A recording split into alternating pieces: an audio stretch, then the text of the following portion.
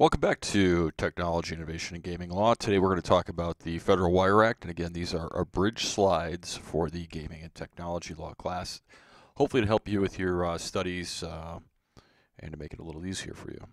Uh, the Federal Wire Act was part of a legislative package back in 1961 designed to cut off activities that sustained organized crime and to help states enforce their gambling laws. Now, back in the 1960s, particularly in 1961, there was only one state with legalized gambling. There were no state lotteries, there were no Indian casinos, no riverboat casinos. Basically, the only thing you had were horse racing and gambling in Nevada, which included uh, sports wagering and uh, casino wagering in land based casinos and land based uh, turf clubs, things like that.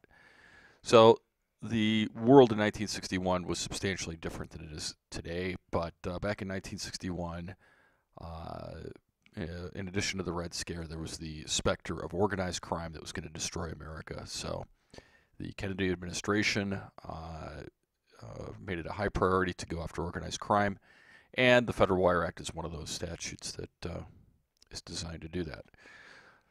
So, this is the pro prohibition section of the Federal Wire Act. The Federal Wire Act is at 18 USC 1084, and it says, first of all, whoever being in the business of betting or wagering, so this is a supply side law only, and what you'll find is with most federal laws is they are supply side. They don't go after the bettor, they go after the, the uh, anybody that's involved in offering wagering. Knowingly uses a wire communication facility for the transmission in interstate or foreign commerce of bets or information assisting in the placement of bets or wagers on any sporting event or contest. Then you have a disjunctive. Or for the transmission of a wire communication which entitles the recipient to receive money or credit as a result of a bet or wager. Another or, and then we have information assisting in the placement of bets or wagers yet again. So that information assisting language does show up more than once. So, what does it mean to be in the business of betting or wagering? Well, if you go back to your materials and read the Baborian opinion, or you look at your notes, what the court there said is that being involved in the business of betting or wagering requires the sale of a product or a service for a fee involving third parties, such as customers and clients, or the performance of a function which is an integral part of such business. The defendant need not be exclusively engaged in such business. If he is an agent or an employee of the business, he need not share in the profits or losses or receive any compensation for his services. But the function he performs must provide a reg- be regular and cons- an essential and an essential contribution to the overall operation of that business. Therefore, it, customers are not mere bettors, and customers are not uh, deemed to be engaged in the business of betting or wagering, even if they're professional bettors but others can be. And again, look at the Baborian opinion. You can look at the Scavo opinion as well. And the wire communication facility is generally anything that can or is regulated by the FCC. That includes internet traffic, that includes telephones, cellular phones, com uh, uh, computer communications. Even if it's a wireless communication, at some point wires are involved either in the device or in the transmission somewhere, and that's been deemed to be good enough under the Wire Act. Uh, interstate and uh, foreign commerce. There's an outlier opinion called US v. Yaquinta. Uh, it's in your materials, but if you recall, you had uh, a racetrack with uh, uh, people involved in illegal horse race wagering uh, in one part of the state of West Virginia, you had two bookmaking operations in other parts of West Virginia. Communication was done uh, not only by walkie-talkie but also by uh, by telephone, long-distance lines, AT&T, and the long-distance line crossed over from West Virginia into Ohio and back. And of course, the defendants uh, that were running the illegal horse racing operation claimed that while they might be guilty of West Virginia law, they're not federal criminals because they had no idea that the transmission crossed state lines. In this opinion, the court said it doesn't matter whether they knew it crossed state lines or didn't. They knew it was long distance communication. Therefore, uh, it was deemed to be interstate commerce because the inter- the long distance phone lines crossed state lines, and they were convicted under the Federal Wire Act, and that conviction was upheld. So, a better wager, as distinct from information assisting in the placement of a better wager. Um, for that information placing, you might want to read the Scavo opinion. Again, Scavo was uh, a person and uh, it, it, dealt with a person that was here in Nevada that would call his friend in Minnesota with uh, sports wagering lines from various books here in uh, Las Vegas. And that was deemed to be information assisting in the placement of a wager, whether or not a wager actually flowed from that information or not, because that information was integral to the operation of the book. Even though the information wasn't part of a bet itself, things like odds and point spreads, transmitting that information is deemed to be transmitting information assisting. Therefore, Scavo was convicted under the Wire Act and others. The issue of a sporting event or contest has also come up in the In Re MasterCard case. Now, let me put this in a sort of a context for you. Uh, In MasterCard was a class action RICO case against MasterCard, Visa, Discover, and other and American Express, uh, you know, credit card companies, claiming that they were part of a criminal enterprise uh, for online with online gambling sites, uh, and therefore, uh, because the online gambling sites were illegal and Mastercard and Visa and other credit card companies were making money off of this, they were all part of a racketeering operation. And the illegal predicate offense that was cited was the Federal Wire Act. Now, if you're the court and this comes to you and you think about it, what would happen if the court held that MasterCard and Visa are liable for the criminal acts of the merchants that use their cards. Yeah, it would have a, a, detrimental effect in the credit card industry because the way the credit card industry works is MasterCard and Visa have agreements with banks. Those banks either have agreements with other banks or merchant banks and merchants. And it's the merchants that are actually taking the cards. Uh, MasterCard and Visa probably, at, at least at that time, don't know exactly what every single merchant is doing. They're relying on the banks to control that. So if you make MasterCard and Visa criminally liable under racketeering statutes for the acts of the merchants, I think you bring down the credit card industry. But the issue came up in this case uh, for the credit card industry is that the pleadings only mention losses on casino gambling online, not on sports betting. And so the credit card companies filed a 12b6 motion to dismiss without, on the grounds that there was a failure to state a claim upon which relief can be granted because they weren't involved in providing those services to sports books, at least not, not, that wasn't alleged in the complaint. And the court did hang its hat on that and, uh, and dismissed the case, stating that sporting event or contest, uh, that language in the Federal Wire Act means that the Wire Act only applies to sports wagers, period.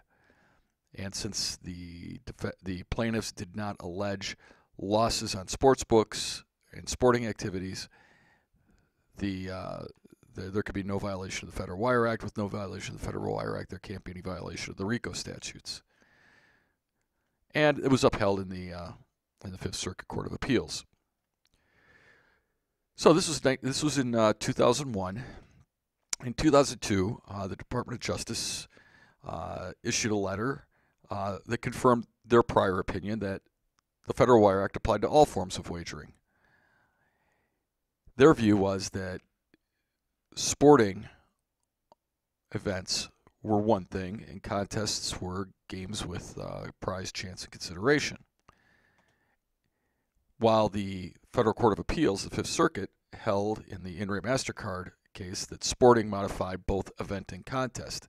It wasn't two separate things. So that's where things stood.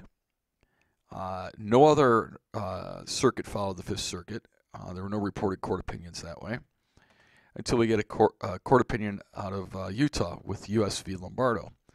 Now, in this uh, matter, Lombardo was involved in providing financial services to online poker sites primarily. And he's charged with violating the Federal Wire Act, among other violations. And he does, or his attorneys do what any sane attorney would do, and they file a motion to dismiss all the Wire Act charges because he's not involved in any sports wagering. And the Fifth Circuit said sports wagering was a necessary uh, underlying act uh, that, that, was prohibited by the Wire Act, and it was limited to sports wagering. And the court uh, in Utah said, "Well, that's nice. You know, we're not in the Fifth Circuit. We're in Utah, um, and we'll take a look at it, but in a light most favorable to you." Uh, the phrase "sporting event or contest" is only used once, and there are two other prohibitions in the in, in the Federal Wire Act. So you have that First prohibition about bets or wagers, the transmission of bets or wagers or information assisting in the placement of bets or wagers in any sporting event or contest. And if the Fifth Circuit's right, then maybe that prohibition applies only to sports. But then we have two others. We have a prohibition for the transmission of a wire communication that entitles the recipient to money or credit as a result of bets or wagers, or for information assist or the transmission of information assisting in the placement of bets or wagers. Again, and because we have that information assisting both in the first and the third prohibition, with the only real difference being that reference to sporting event or contest, the Lombardo court held that uh, the Federal Wire Act, even if the first prohibition applies to sports, the other two don't, because sports isn't mentioned there. Now we should take a quick look at the safe harbor. There is an exemption under the Federal Wire Act. The first one exemption is for news reporting of sporting events or contests. Now again, You'd have to be in the business of betting or wagering. In 1961, you think back to that time, who would be in the business of information, uh, the business of betting or wagering, and also in the business of news reporting, and it's probably tracks in printing racing forums. And then you have a second one, or for the transmission of information assisting in the placement of bets or wagers in a sporting event or contest from a state or country where betting on that sporting event or contest is legal into a state or foreign country in which such betting is legal. Now, what's not exempted is the transmission of the bet itself. So it's important to distinguish the bet from information assisting. Information assisting has been deemed to be things like line information, account information, uh, point spreads. The bet itself is the agreement between the bookmaker and the patron. And information that creates that agreement, you know, I want to place uh, $50 on the Bears tonight or the Bears on Monday Night Football. That information is part of the bet. Uh, whereas line information would be information assisting. Uh, this is what allows Nevada book operators to provide line services to books in New Jersey and Delaware and Pennsylvania and other places, even though we can't accept bets from New Jersey and Delaware and Pennsylvania and other places here in Nevada. So post Lombardo, you have the exemptions and the uh, prohibitions uh, kind of lined up here side by side. And you'll notice that under the first prohibition, you've got that uh, exemption if it's legal in both states. There's no exemption for the transmission of wire of uh, wire communication that entitles the recipient to receive money or credit as a result of better wagers. There's some question as to whether that third information assisting would be exempted under 1084B because 1084B seems to be limited to sporting events or contests. Uh, therefore, there are a, uh, a, lot more prohibitions under the Wire Act. There's a prohibition on the, the transmission of bets, that communication entitling the recipient to money or credit based on a bet, and that information assisting without any reference to sports wagering that aren't reflected in the exemptions. So the exemption's very narrow, the prohibition's very broad, and a lot of the prohib- prohibited activities have no corresponding exemption. Which brings us to the CTO for PartyGaming, and I won't, I won't uh, pronounce his name because I'll probably uh, get it wrong. Uh, I, I, do want to be respectful. Um, anyway, he was charged uh, among other things, with violating the Federal Wire Act. This is all in your materials. And at the beginning of 2010, uh, he actually accepted a plea deal to plead guilty to violating the Federal Wire Act for his activities with online poker. Other than that, I'm not aware of any application of the Federal Wire Act against a non sports wagering or non bookmaking operation, uh, and haven't found one in any reported court opinion.